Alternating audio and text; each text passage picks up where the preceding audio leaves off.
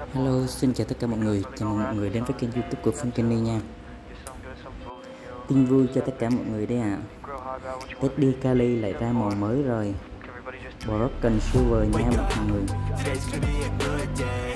Phương đang nhân giống ra màu mới. Tại ngày hôm qua có đứa em nó hỏi sao anh Phương đợt này không thấy ra màu mới luôn vậy?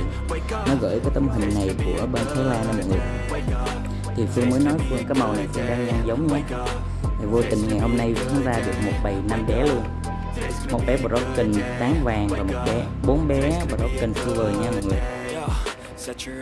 Rất là chuẩn. Phương đang nhân giống ra cái màu này để cho anh em có màu mới chơi nha. Hiện tại thì Phương có 5 bé cái.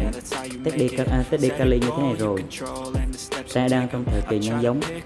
Mọi người hóng các bé lên màu thế nào nhé à, lâu lắm rồi Phương cũng không có ra video nhiều. nếu mọi người nếu thích thì à, để lại một nút đăng ký một nút chia sẻ với mọi người. Cảm ơn tất cả mọi người đã theo dõi kênh của Phương và ủng hộ kênh của Phương trong thời gian qua. À, mọi người sắp có màu mới chơi rồi đó. Nhớ ủng hộ kênh của Phương nhiều nhiều lên nhé.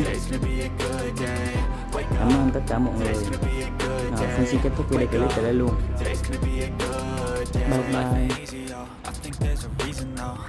ups and downs just like every different season, yo. Sometimes I'm high, other times I'm barely breathing, though. I always gotta fight and I